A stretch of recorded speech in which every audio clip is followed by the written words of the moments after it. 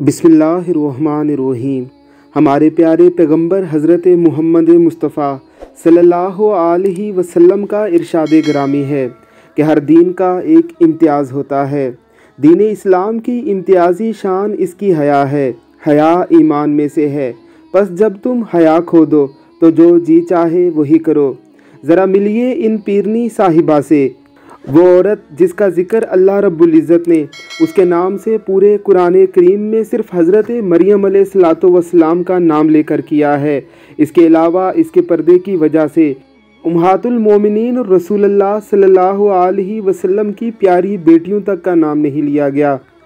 अगर उसी दीन की दावेदार कोई औरत इस तरह से आवाम को लूटने लगे तो फिर इसे दीन इस्लाम की फॉलोअर कहा जाएगा।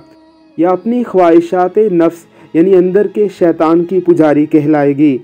इस तरह से बन ठन कर अपने मरीदों के सामने बैठना, उन्हें छूना और इस तरह की बातें करना किसी सूरत भी दीन इस्लाम में जायज़ नहीं।